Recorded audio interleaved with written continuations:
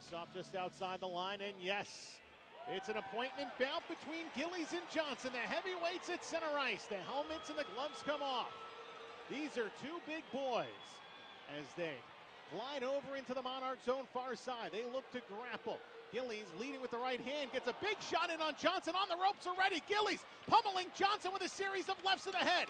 Johnson can't see. Now he's able to come back with a left of his own. Trevor Gillies starting this one off strong. Johnson recovers. They trade lefts, and now Johnson goes down to a knee. Gillies shaking him around a bit. Gillies pummeling on Justin Johnson. A couple of big lefts on Johnson's head. Gillies has opened up a little bit as well as he got in an early shot on Justin Johnson.